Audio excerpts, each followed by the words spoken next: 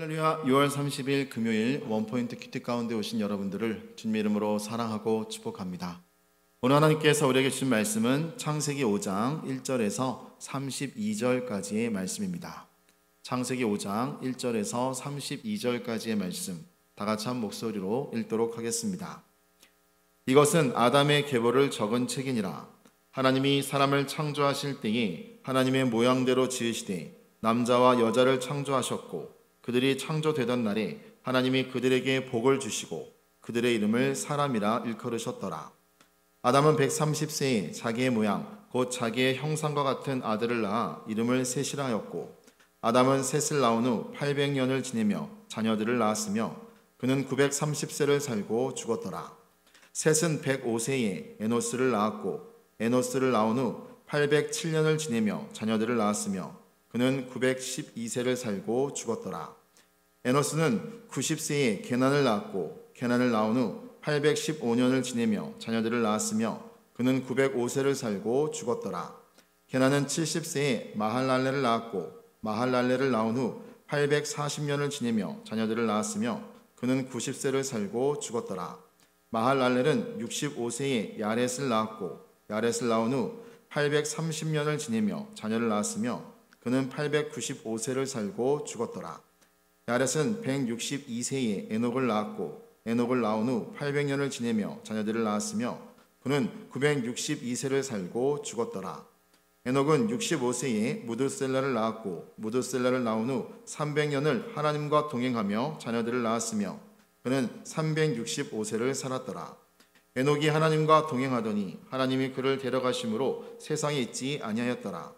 무드셀라는 817세에 라멕을 낳았고 라멕을 낳은 후 782년을 지내며 자녀를 낳았으며 그는 969세를 살고 죽었더라. 라멕은 182세에 아들을 낳고 이름을 노아라 하여 이르되 여호와께서 땅을 저주하심으로 수고롭게 라는 우리를 이 아들이 아니하리라 하였더라. 라멕은 노아를 낳은 후 595년을 지내며 자녀들을 낳았으며 그는 777세를 살고 죽었더라. 노아는 500세 된 후에 셈과 함과 야벳을 낳았더라. 아멘. 이 시간 희망의 역사라는 제목으로 담임 목사님께서 큐티 인도해 주시겠습니다. 할렐루야.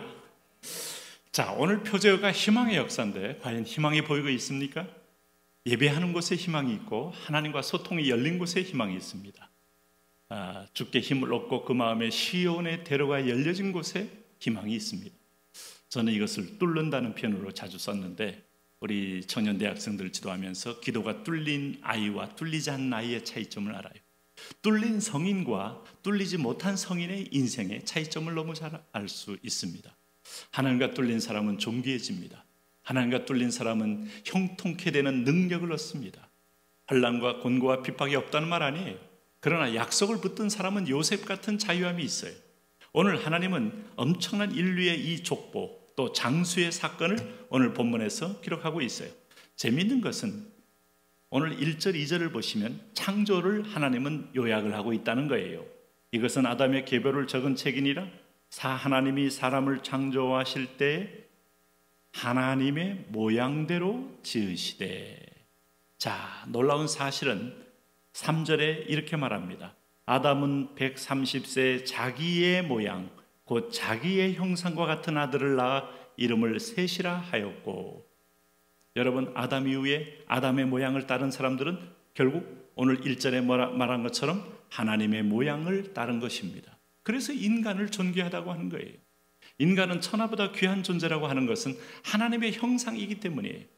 아니 우리 아버지가 나를 낳았는데 내가 무슨 뭐 얼마나 대단한 존재 아닙니다. 그 아버지가 그 아버지가 그 아버지가 그 아버지가 하나님의 형상대로 지음 받은 아담의 후손인 거예요.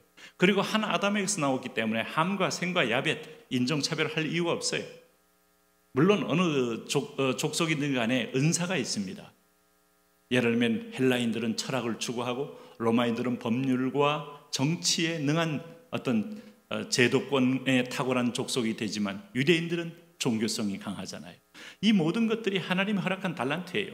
그러니까 여기서 흘러지는 함과 샘과 야벳 같은 경우도 노아 홍수 이후에 그리고 아담의 후손들이 다 각자 은사대로 그 종족들이 번성하기 시작하는 것이죠. 이 중에서 여러분 재미있는 것은 21절에 에녹은 65세에 무두셀라를 낳았고 우리가 관심 있는 한 사람이 무두셀라요 에녹입니다. 자 오해하지 마십시오. 가인이 낳은 아들 에녹 그 에녹 아닙니다. 이름이 동명이인입니다. 에녹은 에녹성을 진 그야말로 성을 최초로 쌓은 자지만 오늘 여기 여기 에녹은 누굽니까? 야렛의 아들을 말합니다. 그래서 그 에녹은 65세에 무두셀라를 낳은 이후에 무두셀라를 낳은 후에 300년을 하나님과 동행하며 자녀들을 낳았다. 그 유명한 300년 동행의 최초의 하나님과 임마누엘 한 존재 오늘 여기 에녹을 성경은 우리에게 소개해 주고 있어요. 그리고 더 놀라운 사실은 24절에 이렇게 표현합니다. 에녹이 하나님과 동행하더니 하나님이 그를 데려가심으로 세상에 있지 아니하였더라. 그 온 가인의 후손으로 가득 찬 하나님과 예배가 막힌 세상 속에서 내 형상대로 지음받은 존재가 예배할 때 하나님이 얼마나 그를 이뻐하고 그를 존귀 여기고 그를 귀히 여기는지 모든 인생이 가는 정령 죽으리라 하는 그 길을 예배자는 극복하고 예배자는 그것을 패스할 수 있는 위대함을 보여준 거예요. 예배 속에는 생명이 있습니다. 예배 속에는 히브리서 7장 말씀을 깨뜨리는 한 번 죽는 것은 사람에게 정한 것이요 그 후에는 심판이 있음을 깨뜨리는 이미 하나님의 상급으로 열려진 죽음을 이긴 부활이 여기 숨어 있어요. 놀랍지 않습니까? 당신이 이 지상에서 가장 영원한 것이 뭘까요? 사업으로 예배하고 직장으로 예배하고 직업으로 예배하고 내가 운동으로 예배하고 내가 하루 살면서 예배하고 로마서 12장 1절 2절 말씀에 예배자의 삶이라는 것은 여전히 하나님이 창조 창조 때 아담에게 줬던 축복이 영이 그대로 흐름을 볼 수 있어요. 너희 몸을 하나님이 기뻐하는 산제사로 드려라. 이는 너희 드릴 영적 예배니라. 저는 이거 기도할 때마다 자주 눈물이 맺힙니다. 그럼 이게 서글퍼서 울까? 참 가련해서 울까? 아니요. 너무 영광스러운 거예요. 너무 소망에 찬 그야말로 살 길을 찾은 거예요. 성령이 살 길을 제시해 준 거예요. 오늘 우리 인생 속에서 내가 주인이고 내 것을 챙겨야 되고 내가 누려야 되고 내가 아, 맛봐야 되는 것들 속에서 너희 몸을 하나님이 기뻐하는 산제사 그 흐름이 하나님은 에녹을 죽음을 보지 않고 오늘 세상에 있지 아니하니라 하는 표현으로 나타납니다. 이 땅에도 예배자를 찾습니다. 이 땅에도 하나님이 오늘 소중한 그의 이름을 부르는 자를 찾습니다. 에노스, 에녹, 여호와를 부르면서 하나님은 그 예배의 후손들을 이 땅에 계속해서 재확산하고 있는 것을 볼 수 있어요. 그러므로 여기 보십시오.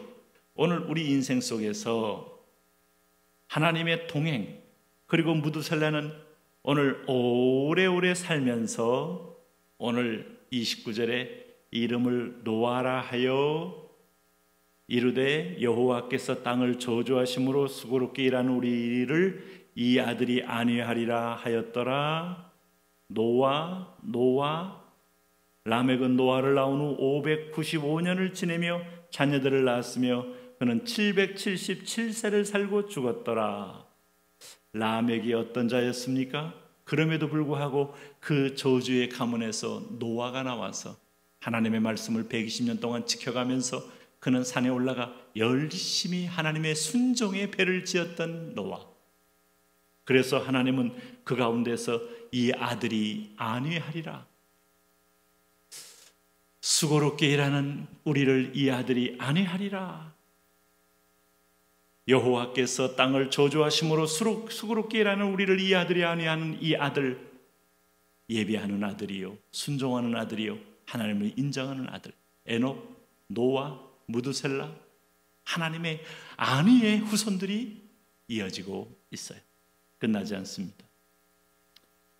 그리고 나서 노아 홍수 이후에 하나님이 온 세상을 진멸한 이후에 32절에 노아는 500세 된 후에 셈과 함과 야벳을 낳았더라. 이 후손 가운데 가인의 후손이 물론 있습니다. 가인의 피가 어디 가겠습니까? 그러나 예배하는 후손이 반드시 나와 다시 한번 희망의 노래를 부르게 하더라. 오늘 저와 저와 여러분이 그 놀라운 믿음의 후손이요 희망의 후손입니다. 하나님이 우리에게 꿈을 꾸는 꿈의 후손입니다. 예배의 줄을 놓치지 마십시오. 말씀의 마음에 새겨지는 것을 결코 경홀히 여기지 마십시오. 하나님의 법도를 따라가는 것을 결코 가볍게 여기지 마십시오. 오늘 당신 속에 위대한 하나님의 역사가 지금 이루어지고 있습니다. 하나님, 그렇습니다. 세상은 우리를 이길 것처럼 보이지만 하나님 이길 수 없습니다. 내 안에 하나님이 계시고 그리스도가 계시고 성령님이 계시고 말씀이 있는 이 은총의 라인에 서게 한 것을 인하여 감사합니다. 승리하게 하실 줄로 믿습니다. 붙들어 흔들리지 않게 하여 주옵소서. 예수님 이름으로 기도합니다.